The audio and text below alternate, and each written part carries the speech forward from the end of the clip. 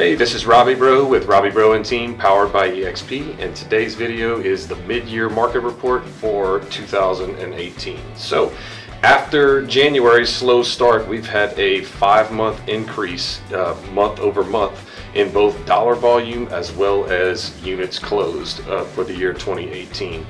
Sales this uh, this past month in June were up 16%.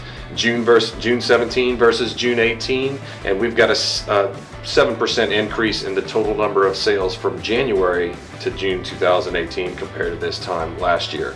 Leading the charge was resale homes, 22% increase, with new construction having a slight dip just below a point and a half.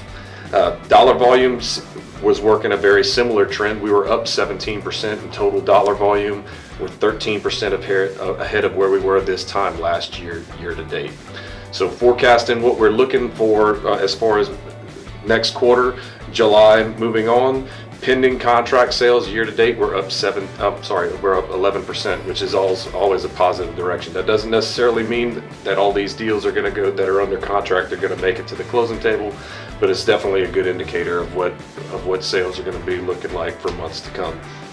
Listing on the supply side of our of our, our supply and demand curve, our listings are up 6% compared to where we were this time last year, cumulative year to date. So we're seeing an increase in the total number of sales, uh, total number of listings on the resale side and a decrease in the total number of new construction homes that are out there available for you to pick out on the market. So interest rates, you know, interest rates are starting also starting to climb. 30-year fixed rates are running anywhere from 4.6 to 4.75. 15-year rates are right at 4.375. So time on the market has been in, has been in kind of an interesting spot this year. We, while we've seen increases in the total number of sales, we have a little bit of every market that's going on right now. We have a seller's market in the zero to $150,000 range, roughly a four-month supply of inventory in the 150 to 299 range, which is where the bulk of all of our, our sales occur. We're right at a five to six month supply of property, which doesn't necessarily favor buyer or seller. If you're looking in the 300 and above, there could be some opportunities for you buyers to be able to pick up a pretty nice little deal. We're, we're looking at roughly a 12 month supply of property, depending on that micro segment range that you're looking in.